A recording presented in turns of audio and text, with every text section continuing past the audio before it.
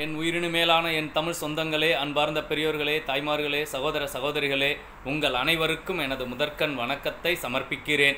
இந்த காணொளி மூலமாக என்ன சொல்ல வரோம் அப்படின்னா எட்டு கோடி தமிழர்களுக்கும் நேற்று ஒரு காணொளி வெளியிட்டிருந்தோம். அதாவது வந்து திட்டக்குடி சட்டமன்ற உறுப்பினர் சி வி கணேசன் அவர்கள் ஒரு தவறான மனுவில் கையெழுத்து போட்டுடுறாங்க அதை வந்து பாரதிய ஜனதா கட்சியை சார்ந்த கோவிந்தராஜ் அப்படிங்கிற மாநில செயற்குழு உறுப்பினர் இந்த நாடகத்தை அமல்படுத்துகிறாரு அதனால் இந்த காணொலியை வெளியிட்டு திமுக தலைவர் தளபதி ஸ்டாலின் அவர்களுக்கு கொண்டு போய் சேருங்கன்னு சொல்லி எட்டு கோடி தமிழர்களுக்கும் அனுப்பியிருந்தோம். அதன்படி இருபத்தி நான்கு மணி நேரத்தில் நாங்கள் அனுப்பிய காணொளி வாயிலான கோரிக்கை மனுவை ஏற்று உடனடியாக பொதுமக்கள் நலன் கருதி ஓ கீரனூர் நெல் கொள்முதல் நிலையத்தை அடிப்படை வசதிகள் நிறைந்த பாதுகாப்பான சூழல்கள் நிறைந்த திட்டக்குடி சட்டமன்ற உறுப்பினர் சி வி கணேசன் அவர்களுக்கு உத்தரவிட்ட திமுக தலைவர் தளபதி ஸ்டாலின் அவர்களுக்கும் பொதுமக்களின் குறைகளை வீடு வீடாக சென்று தீர்த்து வைக்கும் புரட்சி நாயகன் உதயநிதி ஸ்டாலின் அவர்களுக்கும் எங்களது மனமார்ந்த நன்றியை இரு கரம் கூப்பி தெரிவித்துக் கொள்கிறோம். அதைத் தொடர்ந்து இந்த தகவலை தலைமைக்கு கொண்டு சென்ற எட்டு கோடி சமூக வலைதள நண்பர்களுக்கும் திமுகவின் கழக உடன்பிறப்புகளுக்கும் எங்களது மனமார்ந்த நன்றியை இரு கரம் கூப்பி தெரிவித்துக் கொள்கிறோம். இது எங்களுக்கு கிடைத்த வெற்றி அல்ல. இது எட்டு கோடி தமிழர்களின் ஒற்றுமைக்கு கிடைத்த வெற்றி. அதை மறந்துடாதீங்க. நம்ம அனைவரும் ஒற்றுமையாக செயல்பட்டால் ஒவ்வொரு நிமிஷமும் ஒட்டுமொத்த இந்தியாவிலையும் நம்ம ஜெயிச்சுக்கிட்டே இருக்க முடியும். உங்களோட ஒற்றுமை தான் மிகப்பெரிய வெற்றி. அதை மறந்துடாதீங்க. மறந்தும் இருந்துடாதீங்க.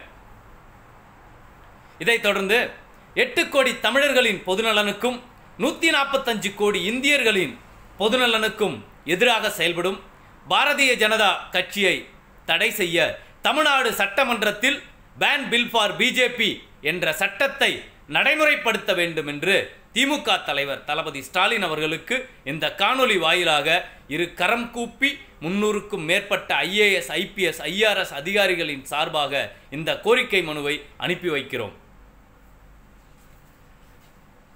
இது மட்டும் இல்லாமல் குத்தகை என்ற பெயரில் தமிழகத்தில் உள்ள ஆறு விமான நிலையங்களையும் நானூற்றி தொண்ணூற்றி ஒரு கிலோமீட்டர் தேசிய நெடுஞ்சாலைகளையும் கார்ப்பரேட் நிறுவனங்கள் கையகப்படுத்த முயற்சிப்பதை தடை செய்ய நடவடிக்கை எடுக்க வேண்டும் என்று திமுக தலைவர் தளபதி ஸ்டாலின் அவர்களுக்கு இந்த காணொலி மூலமாக கோரிக்கை மனுவை அனுப்பி வைக்கிறோம்.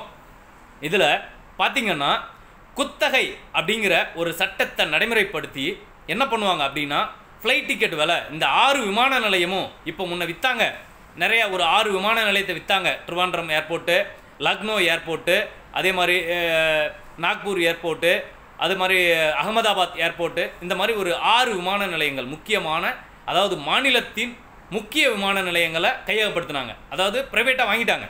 இப்போ மற்றதை சில கிளர்ச்சிகளும் புரட்சிகளும் உருவெடுக்கிறதுனால இப்போ நாங்கள்லாம் நிறைய வீடியோ வெளியிடுறோம். இந்த மாதிரி பிரச்சனைகள் வர்றதுனால குத்தகை அப்படிங்கிற கான்செப்டை இந்த பாரதிய ஜனதா கட்சி கொண்டு வந்திருக்கு. குத்தகை கொடுத்தாலும் ஒன்று தான் ப்ரைவேட்டுக்கு விற்றாலும் ஒன்று தான் குத்தகைங்கிற பேரில் அவன் சொந்தமாக்குவான் அந்த இடத்த. சொந்தமாக்கிட்டு அதுக்கு தனியாக விலை வைப்பான். இதனால் என்ன நடக்கும் அப்படின்னா இந்த ஆறு விமான நிலையமும் அவங்க கண்ட்ரோலில் போச்சு அப்படின்னா அதாவது எட்டாயிரம் ரூபா இருக்கிற ஃப்ளைட் டிக்கெட்டு பதினெட்டாயிரம் வரும். பதினெட்டாயிரம் இருக்கிற ஃப்ளைட் டிக்கெட்டு முப்பத்தாறாயிரமாக மாறும். இந்த மாதிரி பல மடங்காக உயர்த்துவாங்க. இதில் பொதுமக்கள் கவனமாக இருக்கணும். அதே மாதிரி நானூற்றி தொண்ணூத்தொரு கிலோமீட்டர் தமிழ்நாட்டுக்குள்ளே இருக்கிற தேசிய நெடுஞ்சாலைகளை அவங்க கண்ட்ரோலில் கொண்டு போயிட்டாங்க அப்படின்னா இப்போ ஒரு காருக்கு எண்பது ரூபா இருக்கிற டிக்கெட்டை நூற்றி ஐம்பது ரூபா போடுவாங்க இரநூறுவா போடுவாங்க அடுத்த நாள் முந்நூறுரூவா போடுவாங்க அதுக்கு அடுத்த நாள் ஐநூறுரூவா போடுவான். அவன் வைக்கிறது தான் விலை. அந்த நிலைமை மாறணும் அப்படின்னா நம்ம அனைவரும் விழிச்சு பெற்று எழுச்சி பெற்று போராடணும். ஒவ்வொரு தமிழனும் ஒரு போராளியாக உருவெடுக்கணும். அது உங்களோட கையில் தான் இருக்குது மறந்துடாதீங்க. ஏன் சொல்கிறோம் அப்படின்னா இதில் ஒரு காருக்கு இப்போ நூற்றி ஐம்பது ரூபா வாங்குறத இவங்கெல்லாம் கார்ப்பரேட் நிறுவனம் பிஸ்னஸ் மேனு எப்போ என்ன விலை வைப்பாங்கன்னு யாருக்குமே தெரியாது. அவங்களுக்கு மட்டும்தான் தெரியும். இன்னைக்கு என்ன விலை போட போகிறோம் நாளைக்கு என்ன விலை போட போகிறோம் நாளன்னைக்கு என்ன விலை வைக்க போகிறோங்கிறது நம்ம யாருக்குமே தெரியாது. இது ரொம்ப கொடுமையான விஷயம். இதை எதிர்த்து ஒவ்வொரு தமிழனும் போராடுவது தலையாய கடமை ஏற்கனவே சொல்லியிருக்கோம். ரயில்வேயை ப்ரைவேட்டைசேஷன் பண்ணி தனியாருக்கு தாரவாத்து கொடுக்குற சட்டத்தை கொண்டு வந்தாங்க. கொண்டு வந்துட்டு மூன்று ரூபா பிளாட்ஃபார்ம் டிக்கெட்டை ஐம்பது ரூபாயா மாற்றினாங்க நாளைக்கு நூறுரூவா மாற்றுவாங்க நாளன்னைக்கு நூற்றி ஐம்பது ரூபா மாற்றுவாங்க இதான் தனியார் மயமாக்கலின் சிறப்பு அம்சம். இதை பொதுமக்கள் புரிஞ்சுக்கணும். இந்த கார்ப்பரேட் நிறுவனங்கள் உழைச்சி சம்பாதிக்கிறவனுங்க கிடையாது. இவனுங்க பொதுமக்கள் பணத்தை கொள்ளையடித்து கோடீஸ்வரன் ஆகுறவனுங்க. இதை கவனமாக பொதுமக்கள் தெரிஞ்சுக்கணும். அதாவது இதை உடனே நம்ம தடுக்கணும். அப்படி தடுக்கலைன்னா நம்மளுடைய வாழ்வாதாரமும் நம்மளுடைய வாழ்வியல் உரிமைகளையும் நம்ம இழக்க நேரிடும்.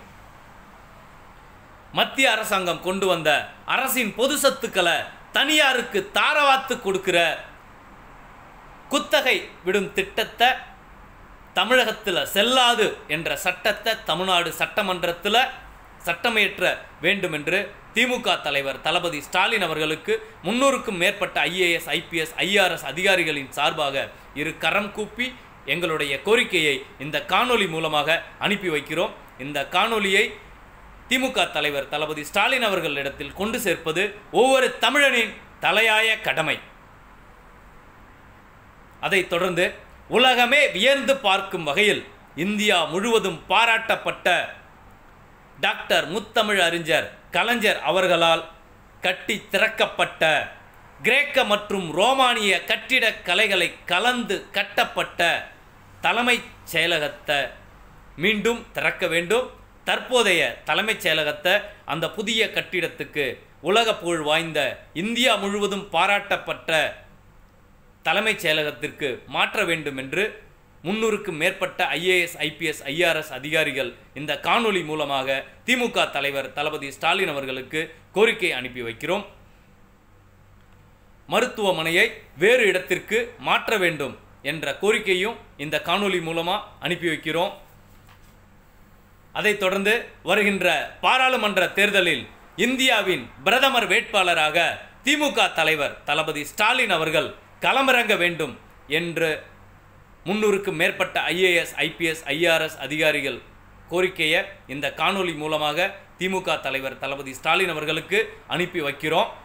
நூற்றி நாற்பத்தஞ்சு கோடி இந்தியர்களையும் எட்டு கோடி தமிழர்களையும் பாசிச பாஜக என்ற பேரழிவில் இருந்து காப்பாற்ற வேண்டும் என்றும் பாசிச பாஜகவை அகில இந்தியா முழுவதும் தடை செய்ய வேண்டும் என்றும் முன்னூறுக்கும் மேற்பட்ட ஐஏஎஸ் ஐபிஎஸ் ஐஆர்எஸ் அதிகாரிகள் கோரிக்கை மனு அனுப்பியுள்ளார்கள் என்பதையும் இந்த காணொளி மூலமாக தெரிவித்துக் கொள்கிறோம். அதைத் தொடர்ந்து ஒரு தமிழர் இந்தியாவை ஆள வேண்டும் என்றும் நூற்றி நாற்பத்தஞ்சு கோடி இந்தியர்களையும் பேரழிவில் இருந்து காப்பாற்ற வேண்டும் என்றும் தமிழகத்தில் உள்ள பொற்கால ஆட்சி இந்தியா முழுவதும் மலர வேண்டும் என்றும் சங்க காலம் முதல் இந்தியாவின் மூத்த குடிமகனான தமிழன் என்ற தமிழர் மாண்பை நிலைநாட்ட வேண்டும் என்றும் திமுக தலைவர் தளபதி ஸ்டாலின் அவர்களிடத்தில் இரு கரம் கூப்பி முன்னூறுக்கும் மேற்பட்ட ஐஏஎஸ் ஐபிஎஸ் ஐஆர்எஸ் அதிகாரிகள் சார்பாக கேட்டுக்கொள்கிறோம்.